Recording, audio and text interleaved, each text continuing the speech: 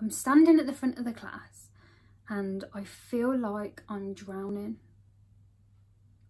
I'm staring out at them and I'm thinking, who the fuck are you lot anyway?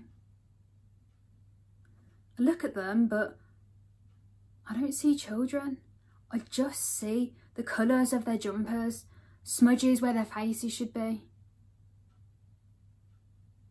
It's hot and the classroom stinks and the clock's broken and the work on the walls is old and the corners are coming away and the kids are screaming.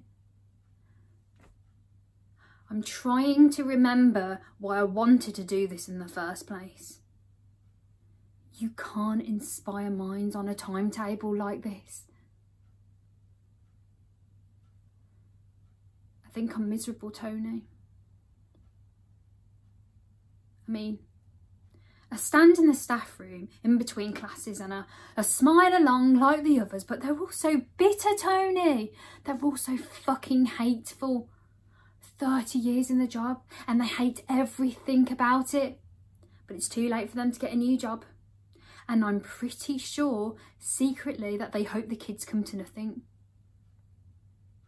I mean, you should hear the way they talk about them. It's no wonder the kids are killing each other over postcodes or getting sick to the thought of not being famous.